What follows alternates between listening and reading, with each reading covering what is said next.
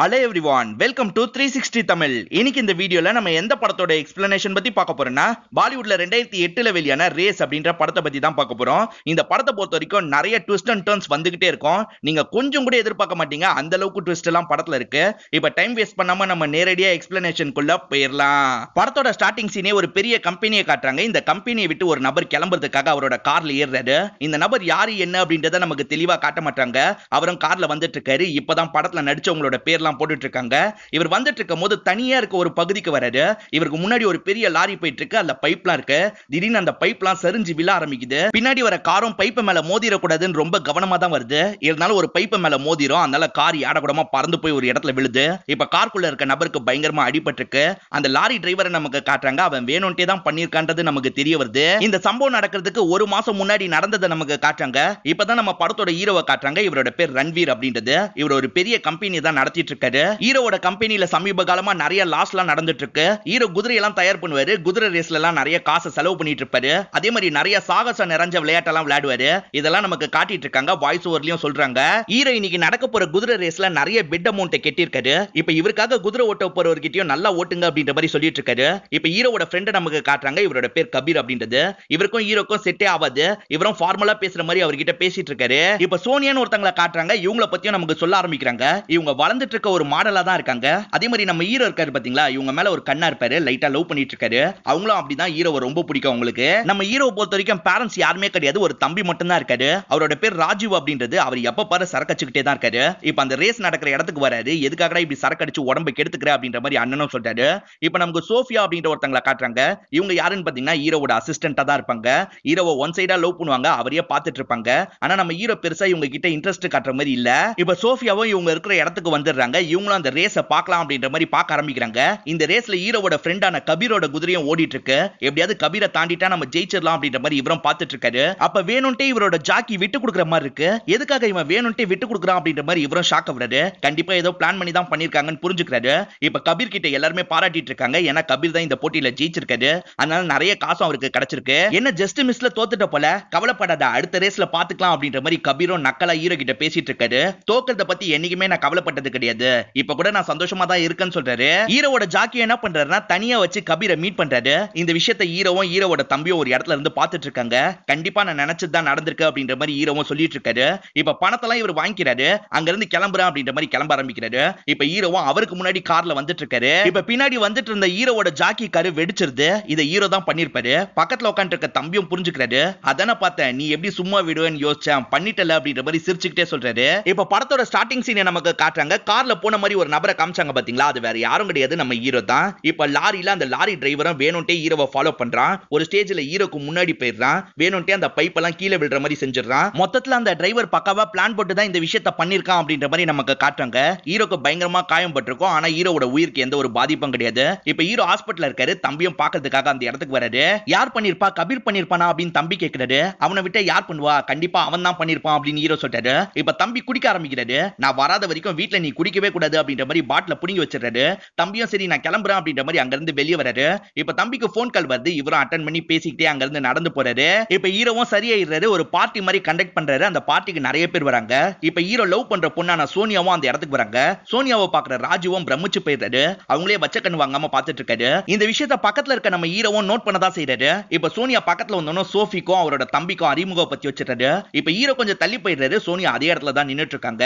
ராஜுவ என்ன பண்றாருன்னா பயங்கரமா அவங்க கிட்ட ஃபிளர்ட் பண்ற மாதிரி பேசுறாரு படத்துல இந்த இடத்துல ஒரு சாங் வரும். இவங்க எல்லாருமே சேர்ந்த மாதிரி ஜாலியா டான்ஸ் ஆடுறாங்க. பார்ட்டி முடிஞ்சோன்னா எல்லாருமே கிளம்பி போயிடுறாங்க. ராஜு மட்டும் சரக்கச்சிட்டு இருக்காரு அண்ணனும் பக்கத்துல வந்து உட்கார்றாரு எதுக்காகடா சரக்கச்சு உன்னோட உடம்பை கெடுத்துக்கிற அப்படின்னு கேக்குறாரு. நான் இன்னைக்கு சோனியாவை பார்த்தேன்ல. அவளை பார்த்தோன்னே எனக்கு ரொம்ப பிடிச்சு போயிருச்சு. அவ மட்டும் என்னோட வாழ்க்கையில வந்துட்டானா? இந்த குடியெல்லாம் நான் கண்டிப்பா விட்டுருவேன் அப்படின்னு சொல்றாரு. இதை கேட்கிற ஹீரோக்கு உள்ளுக்குள்ள ஷாக்கிங்கா இருக்கு. என்ன தம்பி இப்படி பேசுறான் அப்படின்னு நினைக்கிறாரு. சரி போய் படு அப்படின்ற மாதிரி தம்பி அமுச்சு வச்சிடுறாரு. இப்ப தம்பி சொன்னதை யோசிச்சுக்கிட்டே இருக்காரு. இப்ப சோஃபியும் ஹீரோவோட வீட்டுக்கு வராங்க. எதுலயும் அர்ஜென்ட்டா சைன் வாங்கணும் போல அதுக்காக தான் வந்திருக்காங்க. இப்ப இதுல சைன் போடுங்க அப்படின்னு சொல்றாங்க. இவர் படிக்க கூட மாட்டாரு. வேகமா சைன் போட்டுக்கிட்டே இருக்காரு. என்ன பார்க்காமயே சைன் போடுறீங்க? என் மேல அவ்வளவு நம்பிக்கைன்னு கேக்குறாங்க. எனக்கு யாரை நம்பணும் யாரை நம்ப கூடாதுன்றது நல்லா தெரியும் அப்படின்னு சொல்றாரு. நம்ம ஹீரோவோட வீட்லயே ஹீரோக்கு வேற ஒரு அசிஸ்டன்ட் இருப்பாரு. அவரோட பேர் சாம் அப்படின்றது. அவரும் தம்பி குடிக்கிறதுக்காக சரக்கு எடுத்துட்டு போயிட்டு இருக்காரு.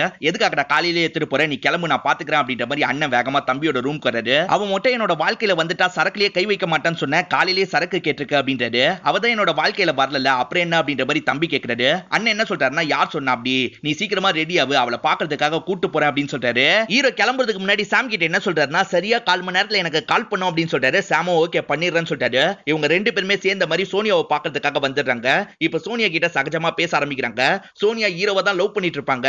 எப்படி பார்த்தாலும் ராஜீவ் ஹீரோவோட தம்பி தானே அப்படின்ற மாதிரி இவங்களும் சகஜமா ராஜீவ் கிட்டயும் பேசிட்டு இருக்காங்க. ராஜீவுக்கும் ரொம்ப சந்தோஷமா இருக்கு. இவங்க பேசிட்டு இருக்கும் போது ஹீரோக்கு போன் கால் வருது. ஹீரோ சொன்ன மாதிரியே அவரோட அசிஸ்டன்ட் தான் கால் பண்ணிருக்காரு ஆனா நம்ம ஹீரோ ஒரு பொண்ணு கிட்ட பேசுற மாதிரி பேச ஆரம்பிக்கிறாரு. ஓகே பிரியா நான் அந்த இடத்துக்கு வந்துடுறேன். நம்ம அதே மாதிரி ஃபன் பண்ணலாம் அப்படின்ற மாதிரி ரொம்ப ஜாலியா பேசுறாரு. இத பாக்குற சோனியாவுக்கு ரொம்ப கஷ்டமா இருக்கு. இவங்க மூணு பேருமே சேர்ந்த மாதிரி வெளியே போலான்னு பிளான் போட்டிருப்பாங்க. ஆனா ஹீரோ என்ன சொல்றாருன்னா என்னால வர முடியாது. எனக்கு அர்ஜென்ட்டா ஒரு வேலை வந்துருச்சு. அதனால நீங்க ரெண்டு பேர் மட்டும் போயிட்டு வாங்களேன் அப்படின்ற மாதிரி அங்க இருந்து கிளம்பி போயிட்டாரு இப்ப சோனியாவும் என்னடா இவருக்கு நம்மள பிடிக்கலையா? அப்படின்ற மாதிரி வருத்தப்படுறாங்க.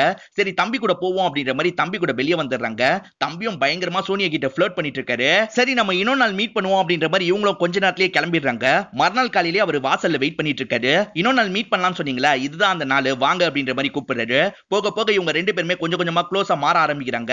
இந்த இடத்துல ஒரு சாங் மாதிரியும் காட்டுறாங்க. இந்த சாங்லயே இவங்க ரெண்டு பேருமே பயங்கரமா லவ் பண்ண ஆரம்பிச்சிடுறாங்க. இப்ப சோனியா ஹீரோவோட வீட்டுல தான் இருக்காங்க ராஜீவ் கூட தான் இருக்காங்க. ராஜீவ் ஜாலியா சரக்கச்சிட்டு இருக்காரு இவங்களும் கொஞ்சம் பேசிட்டு இருக்காங்க. நம்ம ரெண்டு பேருமே சீக்கிரமா கல்யாணம் பண்ணிக்கலாமா அப்படின்னு கேக்குறாங்க. இப்ப ராஜுவோட முகம் மாற ஆரம்பிக்குது அவரும் தெனாவட்டா பாக்குறாரு. இப்ப வேகமா போய் ஒரு ரெக்கார்ட் எடுக்கிறாரு. அந்த ரெக்கார்ட்ல இவங்க பண்ண கிரைம்லாம் இருக்கும். பதினஞ்சு வயசுல இந்த இடத்துல இருந்து நீ தப்பிச்சிருக்க. பதினெட்டு வயசுல ஒரு பார்ல வேலை செஞ்சிருக்க அங்க இருக்க ஓனர் செக்ஸ் டார்ச்சர் கொடுக்குறாரு அப்படின்ற மாதிரி அவரை கைது பண்ற மாதிரி ஆக்கிட்ட. அவர்கிட்ட இருக்க எல்லா காசையும் சுருட்டிட்ட. இது எல்லாமே எனக்கு தெரியும். என் அண்ணன் வேணா உங்ககிட்ட ஏமாறலாம். நான் ஏமாற மாட்டேன் அப்படின்னு சொல்லிட்டாரு. இது எல்லாமே உண்மையா தான் இருக்கும். இப்ப சோனியாவோட முகம் மாறிடுது. இப்ப ராஜீவும் ஸ்டைலா போய் சோஃபால உட்கார்றாரு இவங்களும் அவரோட காலை பிடிக்கிறாங்க. தயவு செஞ்சு இந்த விஷயத்தெல்லாம் உன்னோட அண்ணன் கிட்ட சொல்லிடாத. என்னோட வாழ்க்கையே போயிடும் அப்படின்ற மாதிரி அழுகுற மாதிரி பண்றாங்க. இப்பெல்லாம் நான் கெஞ்சுவேன்னு நினைக்கிறியா? மாட்டவே மாட்டேன் அப்படின்ற மாதிரி எதிரில் இருக்க சோஃபால போய் ஸ்டைலா உட்கார்றாங்க என்னை பத்தி எல்லாமே தெரிஞ்சோ என்ன சுத்தி சுத்தி வந்திருக்கேன்னா காரணம் இல்லாம வந்திருப்ப. கண்டிப்பா ஏதோ ஒரு காரணத்தோட தான் வந்திருப்ப. என்ன காரணம் என்கிட்ட சொல்லு அப்படின்னு கேக்குறாங்க. நீ பெரிய தில்லாலங்கடி தான் அப்படின்றத நிரூபிச்சிட்ட. நான் நேரடியாவே விஷயத்துக்கு வந்துடுறேன். எங்க ரெண்டு பேருக்குமே நிறைய கடன் இருக்கு. கண்டிப்பா என்ன கஷ்டப்பட்டாலும் அந்த கடனை அடைக்க முடியாது. நானும் என்னோட அண்ணனும் இன்சூரன்ஸ் போட்டிருக்கோம். என்னோட அண்ணன் மட்டும் இறந்து போனானா நூறு மில்லியன் டாலர் கிடைக்கும். அதனால என்னோட அண்ணனை சாவடிக்கணும்னு நினைக்கிறேன் அப்படின்னு சொல்லிட்டாரு. இதை கேட்டுட்டு இருக்க இவங்களும் காசுக்காக உன்னோட அண்ணனையே சாவடிக்க போறியான்னு கேக்குறாங்க. என்னோட அண்ணன் தான் எனக்காக அடிக்கடி உயிரை கொடுப்பேன் உயிரை கொடுப்பேன்னு சொல்லுவான். சொல்ல போனா நான் அவனோட ஆசையை தான் நிறைவேற்ற போறேன் அப்படின்ற மாதிரி இவரன் கிண்டலா சொல்லிட்டாரு. அதெல்லாம் விட்டு தள்ளு. உனக்கு எவ்வளவு கமிஷன் வேணும்? உனக்கு இருபது சதவீதம் கமிஷன் தரேன் அப்படின்னு சொல்லிட்டாரு. இவங்களும் கொஞ்சம் யோசிக்க ஆரம்பிக்கிறாங்க. அதே மாதிரி இந்த பிளான்ல நம்ம ரெண்டு பேருமே கல்யாணம் பண்ணிக்கணும் அப்படின்னு சொல்லிட்டாரு. இவங்க கொஞ்சம் ஷாக் ஆகுறாங்க இந்த பிளானுக்காக மட்டும் தான் கல்யாணம் பண்ணிக்க போறோம். ஓகேவா இல்லையான்னு சொல்லுன்றாரு. இவங்களும் ஓகேன்னு சொல்லிடுறாங்க. இன்னைக்கு ஒரு காம்படிஷன் நடக்க போது அதுலயாவது எப்படியாவது ஜெயிக்கணும் அப்படின்னு ஹீரோ நினைக்கிறாரு. இப்ப குதிரை எத்தனை செகண்ட்ல முடிக்குதுன்னு பாக்கலாம் அப்படின்ற மாதிரி அசிஸ்டன்ட் மூலியமா பாக்குறாரு சரி சில பேப்பர்ல எல்லாம் சைன் பண்ணோம்ல அந்த பேப்பர்லாம் எடுத்துட்டு வா அப்படின்ற மாதிரி அவர்கிட்ட சொல்றாரு அவரும் கிளம்பிட்டாரு இப்பதான் கபீர் அந்த இடத்துக்கு பேசுறதுக்காக வராரு. நம்ம ஹீரோவை பொறுத்த வரைக்கும் நிறைய கடன் இருக்கும். எல்லாத்தையும் அடமானத்துல தான் வச்சிருப்பாரு. கபீர் என்ன சொல்றாருன்னா எதுக்காக அடமானத்துல வச்சிருக்க? நான் நல்ல ரேட்டு தரேன். எல்லாத்தையும் என்கிட்ட மொத்தமா தந்துரு அப்படின்னு சொல்லிட்டாரு நம்ம ஹீரோவும் அதெல்லாம் எனக்கு விருப்பம் இல்ல அப்படின்ற மாதிரி அவாய்ட் பண்ணிட்டாரு. அப்புறம் உன்னோட விருப்பம் அப்படின்ற மாதிரி கபீர் சொல்லிட்டாரு இப்பதான் அசிஸ்டன்ட் சைன் கேட்கறதுக்காக வராரு. உன்னோட பெண்ணை மட்டும் எடுத்துக்கிறேன் அப்படின்ற மாதிரி கபீரோட பெண் எடுத்து சைன் போடுறாரு. சைனை போட்டோன்னா அவரோட பாக்கெட்ல வைக்கிறாரு. ஹலோ மிஸ்டர் அது என்னோட பெண் அப்படின்னு கபீர் சொல்லிட்டாரு ஐயோ சாரி அப்படின்ற மாதிரி இவரும் பெண்ணை எடுத்து கொடுக்குறாரு. ஆனா பெண்ணை மாத்தி தான் கொடுக்குறாரு. இன்னைக்கு ரேஸ்லயும் நீ தோக்க தான் போறேன்னு கபீர் சொல்றாரு. சரி அதையும் பாப்போம் அப்படின்ற மாதிரி இவரும் கிண்டலா சொல்றாரு.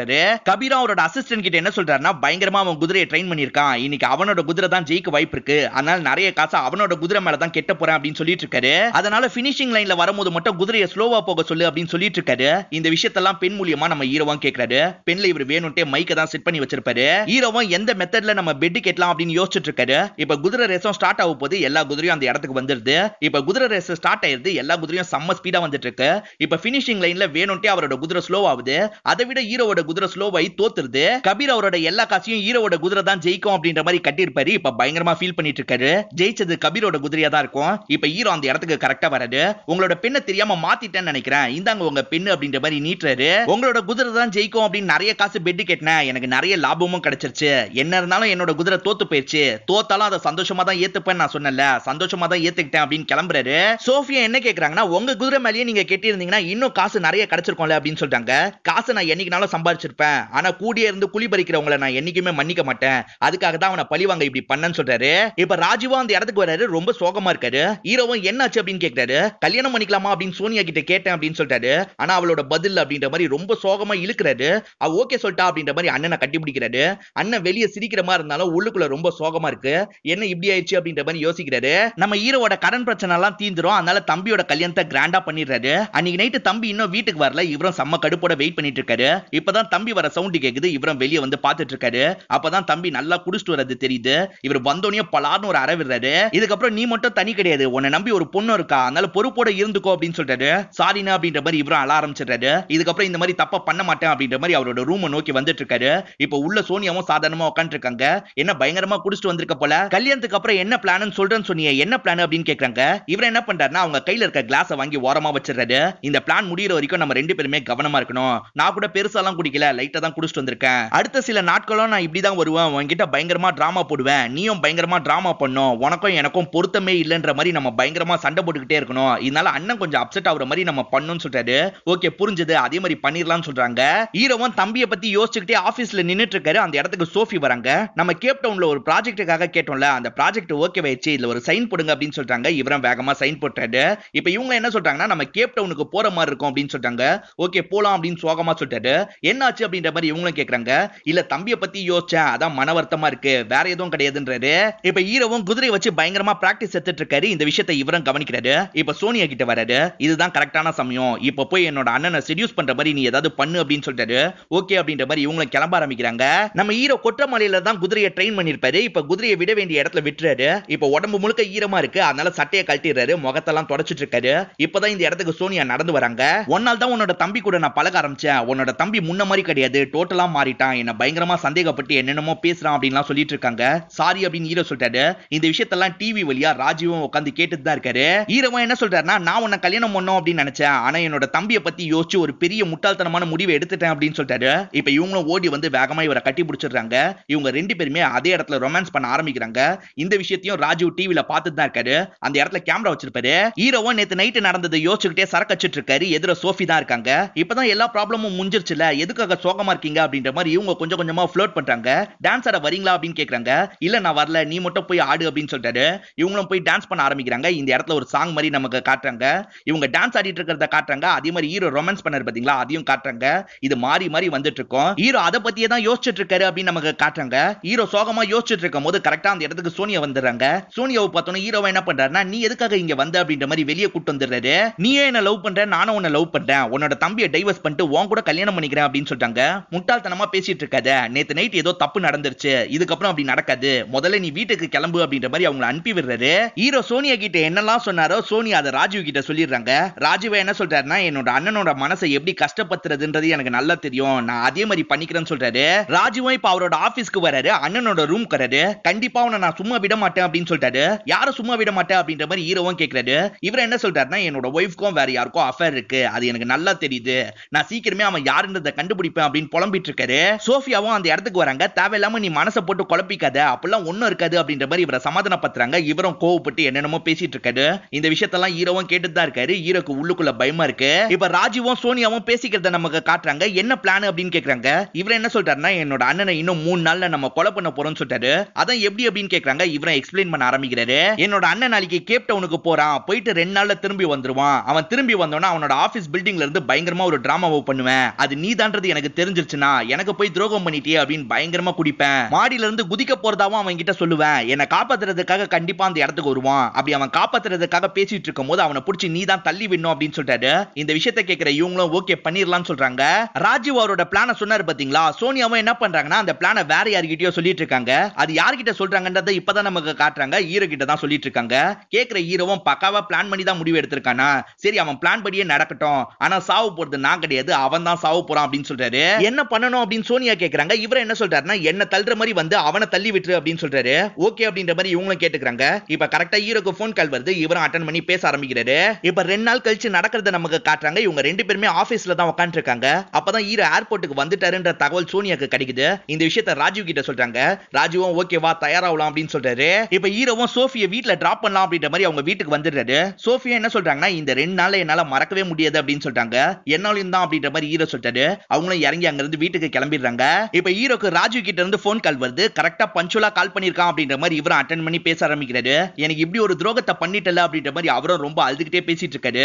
ஆனா எதிர காட்டும் போது தான் தெரியுது இவர் ஜாலியா சோனியா கிட்ட விளையாடிக்கிட்டே தான் பேசிட்டு இருக்காரு. என்னோட வாழ்க்கையை அழிச்சியனா அப்படின்ற மாதிரி ரொம்ப ஃபீலிங்கா பேசுற மாதிரி நடிக்கிறாரு. நம்ம ஹீரோக்கு தான் எல்லாமே தெரியுமே. ஹீரோவும் பயங்கரமா நடிக்கிறாரு. நீ அவசரப்பட்டு எதுவும் பண்ணிடாத. நான் வந்து எக்ஸ்பிளைன் பண்றேன் அப்படின்னு சொல்றாரு. இப்ப யார வரையும் அந்த பில்டிங்கோட டாப்புக்கு வந்துடுறாரு. நான் சாக தான் போறேன் அப்படின்னு ராஜீவ் நடிச்சிட்டு இருக்காரு. அவசரப்பட்டு தப்பான முடிவை எடுத்துறது அப்படின்ற மாதிரி ஹீரோவும் நடிச்சிட்டு இருக்காரு. இவங்க ரெண்டு பேருமே அவங்களுக்காக தான் வெயிட் பண்ணிட்டு இருக்காங்க. இப்ப சோனியாவும் கதவை திறந்து அந்த இடத்துக்கு நடந்து வர ஆரம்பிக்கிறாங்க. இப்ப பக்கத்துல வந்தோடனே ஹீரோவா என்ன பண்றாருன்னா தள்ளி விடு அப்படின்ற மாதிரி சிக்னல் பண்றாரு. இப்ப பக்கத்துல வந்த சோனியா என்ன பண்றாங்கன்னா சடனா ஹீரோவை பிடிச்சி தள்ளி விட்டுறாங்க. ஹீரோ இந்த விஷயத்த கொஞ்சம் கூட எதிர்பார்க்க மாட்டாரு. அதனால யாரோடமா தொங்கிட்டு இருக்காரு. எதுக்காக இப்படி பண்ணு அப்படின்ற மாதிரி சோனியாவை பார்த்து கோவமா கேட்கிறாரு இருபது பெர்சன்டேஜ் எனக்கு கிடைக்க போகுது. அது ரொம்ப பெரிய அமௌண்ட் அது சொன்னா உனக்கு புரியாது அப்படின்ற மாதிரி கையை அடிக்கிறாங்க. இப்ப ஹீரோவும் பில்டிங் டாப்ல இருந்து கீழே விழ ஆரம்பிக்கிறாரு. இப்ப கீழே விழுந்தவர் அதே இடத்துல இறந்து போயிடுறாரு இப்ப இந்த இடத்துக்கு ஒரு முக்கியமான ஆபீசர் வராரு இந்த ஆபீசரோட பேர் ஜேடி அப்படின்றது. இவர் எப்ப பாரு ஏதாவது ஒரு ஃப்ரூட்டை சாப்பிட்டுக்கிட்டே இருப்பாரு. இவரோட அசிஸ்டன்ட் பேர் மினி அப்படின்றது. இந்த ரோலை சமீரா ரெட்டி தான் பண்ணிருப்பாங்க இவங்க ரெண்டு பேருமே அங்க இருக்க லோக்கல் போலீஸ் கிட்ட விசாரணை எல்லாம் பண்ணி தெரிஞ்சுக்கிறாங்க. இறந்தவரோட தம்பி கிட்டயும் தம்பியோட மனைவி கிட்டயும் விசாரணை பண்ணோம் அப்படின்ற மாதிரி ஜேடியும் உள்ள வந்துடுறாரு. இப்ப ராஜீவும் பயங்கரமா ஆக்டிங் எல்லாம் கொடுத்துட்டு இருக்காரு என்னோட அண்ணன் சாவுக்கு நான் தான் காரணம். நான் தான் என்னோட அண்ணனை சாவடிச்சிட்டேன் அப்படின்னு சொல்றாரு. ஜேடி என்ன சொல்றாருன்னா நாங்க எதிர்பார்த்ததை விட இந்த கேஸ் சீக்கிரம் முடிஞ்சிடும் போலியே. நீங்களே அர்த்தத்தை ஏத்துக்கிட்டீங்க அப்படின்னு சொல்லிட்டாரு. இப்ப பக்கத்துல இருக்க இவங்க என்ன சொல்றாங்கன்னா அவர் அந்த அர்த்தத்துல சொல்ல எங்க ரெண்டு பேருக்கு இவரோட அண்ணன் ரன்வீர் தான் கல்யாணம் பண்ணி வச்சாரு. ஆனா கல்யாணம் ஆனதுல இருந்து இவர் குடிச்சு பயங்கரமா பிரச்சனை பண்ணிட்டு இருந்தாரு. இதனால ரன்வீர் மன உளைச்சலுக்கு ஆடானாரு இன்னைக்கு மாடியில குடிச்சுக்கிட்டே இருந்தாரு. அப்ப யார கூடமா ஆக்சிடென்ட் எல்லாம் கீழே விழுந்து இறந்து போயிட்டாரு. இதுதான் நடந்தது அப்படின்னு சொல்றாங்க. ஓகே தேவைப்பட்டா திரும்பி வந்து விசாரணை பண்றோம் அப்படின்ற மாதிரி இவங்க ரெண்டு பேர் கிளம்பிடுறாங்க. இந்த விஷயம் ஆக்சிடென்ட் எல்லாம் நடந்திருக்குன்னு சொன்னா ஒருவேளை இன்சூரன்ஸ் அமௌண்ட்டுக்காக கூட இருக்கலாம். அதனால வேணும்ட்டே இதை பண்ணிருக்க கூட வாய்ப்பு இருக்கு. நம்ம நல்லா அந்த ஆங்கிள் விசாரிக்கணும். முதல்ல பாடியை பார்க்கணும் அப்படின்னு சொல்றாரு. மறுநாள் காலையில இவங்க ரெண்டு பேர்கிட்டயும் அந்த பாடியை காட்டி கன்ஃபார்ம் பண்ணும் அப்படின்னு நினைக்கிறாங்க. இப்ப பாடியை காட்டுறதுக்காக ஜேடியும் கூட்டு வர்றாரு இப்ப பாடியை காட்டுறாரு. இப்ப பாடியை பாக்குற மினிக்கு திடீர்னு வாந்தி வர மாதிரி இருக்கு. வேகமா அந்த இடத்தை விட்டு ஓட ஆரம்பிக்கிறாங்க. மினிக்கு வாந்தி வருது. ஆனா இவங்க சகஜமா இருக்காங்களே அப்படின்ற மாதிரி இவங்க ரெண்டு பேருமே பாக்குறாரு இவங்க ரெண்டு பேர் மேல இன்னும் டவுட் அதிகமாகுது. இது ரன்வீர் பாடி தான் அப்படின்னு ரெண்டு பேருமே அடையாளம் சொல்லிடுறாங்க. சரி நீங்க கிளம்பலாம் அப்படின்ற மாதிரி ஜேடியை இவங்களை அமுச்சு வச்சிடுறாரு. இப்பதான் வாஷ்ரூம்ல இருந்து மினியும் வராங்க. பாடியை பார்த்தா மட்டும் என்ன ஆகுதுன்னே தெரியல. வாந்தி வந்துருது இப்ப கூட என்னோட ஹார்ட் பீட் பட்டு பட்டுன்னு அடிக்குதுன்னு சொல்றாங்க. எங்க அப்படின்ற மாதிரி இவரும் தொட்டு பாக்குறாரு இவங்க ரெண்டு பேருமே வர சீனை கொஞ்சம் காமெடியா தான் நமக்கு காட்டுவாங்க. இவங்க ரெண்டு பேருமே ஹீரோவோட அசிஸ்டன்ட் விசாரணை பண்ணோம் அப்படின்னு நினைக்கிறாங்க. வேகமா அவரை பாக்குறதுக்காக வந்துடுறாங்க. இப்ப சாம் கிட்ட தான் விசாரணை பண்ணிட்டு இருக்காங்க. நிறைய கேள்விகள்லாம் கேட்டுட்டு இருக்காங்க. ரன்வீர் சார் ரொம்ப நல்லவர். எல்லாருக்குமே பயங்கரமா ஹெல்ப் பண்ணுவாரு அப்படின்லாம் சொல்றாரு இதை கேட்கிற மினியும் பயங்கரமா அழுகுறாங்க அவ்வளவு ஃபீலிங்காவா இருக்குன்னு கேக்குறாரு அதெல்லாம் இல்ல நீங்க ஆரஞ்சு உரிக்கும் போது சாறு பட்டுருச்சு. அதனால தான் அழுகுறேன் அப்படின்னு மினியும் சொல்றாங்க. இப்ப மேற்கொண்டு சாம் என்ன சொல்றாருன்னா இவங்க ரெண்டு பேருமே உண்மையான பிரதர்ஸ் கிடையாது. ஸ்டெப் பிரதர்ஸ் தான் அப்படின்னு சொல்றாரு. ஆர்டியோ இந்த விஷயத்தெல்லாம் நோட் பண்ணி வச்சுக்கிறாரு. இப்ப பழம் காலி ஆயிருது சரி அந்த மாதுளம்பழத்தை எடு அப்படின்னு சொல்றாரு. மினியும் எடுத்து தராங்க. இவரும் ராஜீவ் கிட்ட விசாரணை பண்ணோம் அப்படின்ற மாதிரி அவரோட ரூமை நோக்கி நடந்துட்டு இருக்காரு. இந்த விஷயத்த ராஜீவும் சோனியாவும் பார்த்துட்டு தான் இருக்காங்க. வேகமா ரூமை நோக்கி நடந்து வந்துட்டு இருக்க ஆர்டி என்ன பண்றாருன்னா பின்னாடி வராரு. கேமராவை பார்த்து கையை காட்டுறாரு. இவங்க ரெண்டு பேருமே பார்த்துட்டு தான் இருப்பாங்க அப்படின்றத கண்டுபிடிச்சிடுறாரு. இப்ப கரெக்டா இவங்க ரூம்க்கு வந்து விசாரணை பண்ண ஆரம்பிக்கிறாரு. டேரக்டா இவர் தான் கொலை பண்ணாரு அப்படின்றத சொல்ல மாட்டாரு. நீங்க தான் கொலை பண்ணிருக்க வாய்ப்பு இருக்கு. இன்சூரன்ஸ்க்காக இதை பண்ணிருக்க வாய்ப்பு இருக்கு அப்படின்னு கிண்டலா இவரை மடக்கிற மாதிரி நிறைய விஷயங்கள் சொல்லிக்கிட்டே இருக்காரு. இவருக்கும் பயமா தான் இருக்கு. இப்ப ஆர்டியும் தேவைப்பட்டா திரும்பி வரேன் அப்படின்ற மாதிரி வெளியே வராரு. இப்பதான் அங்க சோஃபி பயங்கரமா அழுதுட்டு இருக்காங்க. எதுக்காக ஒரு அசிஸ்டன்ட் இவ்வளவு அழுதுட்டு இருக்கா அப்படின்னு இவரும் யோசிக்கிறாரு. இறந்து போனவரோட தம்பியே கூலா தான் இருக்காரு. நீ அசிஸ்டன்ட் தானமா எதுக்காக இவ்வளவு அழுவுற அப்படின்னு கேக்குறாரு. இவங்க என்ன சொல்றாங்கன்னா நான் அசிஸ்டன்ட் மட்டும் கிடையாது. நான் அவரோட ஒய்ஃப்னு சொல்றாங்க. இப்ப இவர் செம்மையா ஷாக் வராரு அதே மாதிரி தம்பியும் ஷாக்கா வராரு நீங்க எப்ப கல்யாணம் பண்ணிக்கிட்டீங்க அப்படின்னு கேக்குறாரு. நாங்க இப்ப கேப் டவுனுக்கு போனோம்ல. அந்த இடத்துல வச்சுதான் எங்களுக்கு கல்யாணம் நடந்தது அப்படின்னு சொல்றாங்க. ராஜுவும் உள்ளுக்குள்ள செம்மையா ஷாக் வராரு ஆர்டியோ என்ன சொல்றாருன்னா உங்ககிட்ட தனியா பேசணும் அப்படின்னு சொல்றாரு. இவங்க மூணு பேருமே வெளியே தனியா வந்துடுறாங்க. இப்ப ஆர்டியோ என்ன கேக்குறாருன்னா உங்களுக்குள்ள லவ் போயிட்டு இருந்ததா என்ன? எப்படி திடீர்னு கல்யாணம் பண்ணீங்க? அப்படின்னு கேக்குறாரு. இவங்களும் சொல்ல ஆரம்பிக்கிறாங்க. எனக்கு ரன்வீர் சாரை எப்பவுமே ரொம்ப பிடிக்கும். ஆனா அவர் என்கிட்ட ரொம்ப எல்லாம் பேச மாட்டாரு. அன்னைக்கு என்ன நடந்தது தெரியுமா? அப்படின்னு சொல்ல ஆரம்பிக்கிறாங்க. இவங்க ப்ராஜெக்ட் விஷயமா வந்தாங்க பாத்தீங்களா? அந்த ப்ராஜெக்ட் பக்கவா முடிஞ்சிருது. திடீர்னு அவரே ரிங்கு தந்து என்ன ப்ரொபோஸ் பண்ணாரு அப்படின்னு சொல்றாங்க. நமக்கும் காட்டுறாங்க. ஹீரோ ரிங்கு தந்து இவங்களை ப்ரொபோஸ் பண்ணிருப்பாரு. இந்த இடத்துல ஒரு சாங் மாதிரி வரும். பயங்கரமா இருக்கும் இந்த சாங் நம்ம இன்னைக்கே கல்யாணம் பண்ணிக்கலாம் அப்படின்னு சொன்னாரு அதனால பக்கத்துல இருக்க ஒரு ரெஜிஸ்டர் ஆபீஸ்க்கு போய் நாங்க ரெண்டு பேருமே கல்யாணம் பண்ணிக்கிட்டோம் அப்படின்னு சொல்றாங்க. நீங்க கல்யாணம் பண்ணதுக்கு ஏதாவது ஆதாரம் உங்ககிட்ட இருக்கும்ல அதை காட்டுங்க அப்படின்னு சொல்றாரு. இவங்க என்ன பண்றாங்கன்னா பேக்ல இருந்து அந்த ஆதாரத்தை எடுத்து தராங்க. இது என்கிட்டயே இருக்கட்டும் அப்படின்னு வாங்கி வச்சுக்கிறாரு. இந்த விஷயத்தெல்லாம் ஜன்னல்ல இருந்து சோஃபியாவும் ராஜுவும் ஒட்டி கேட்டு தான் இருக்காங்க. என்ன இப்படி ஆயிடுச்சு அப்படின்ற மாதிரி வருத்தப்படுறாங்க. இந்த படத்தோட எக்ஸ்பிளனேஷன் ரொம்ப லென்த்தா போயிருச்சு. அதனால ரெண்டு வீடியோவா போடலான்னு ரெண்டு வீடியோவா போட்டிருக்கேன். ரெண்டாவது வீடியோவை பார்க்கணும்னா இந்த வீடியோவோட டிஸ்கிரிப்ஷன்ல லிங்க் தந்திருக்கேன். அதை செக் பண்ணி பாருங்க. இந்த வீடியோ உங்க எல்லாருக்குமே பிடிச்சிருக்கோம் நம்புறேன். இந்த வீடியோ உங்களுக்கு பிடிச்சிருந்தா லைக் பண்ணுங்க கமெண்ட் பண்ணுங்க. மறக்காம த்ரீ சிக்ஸ்டி தமிழ் சேனலை சப்ஸ்கிரைப் பண்ணுங்க. தொடர்ச்சியா இந்த மாதிரி வீடியோக்கள் வந்துகிட்டே தான் இருக்கும்.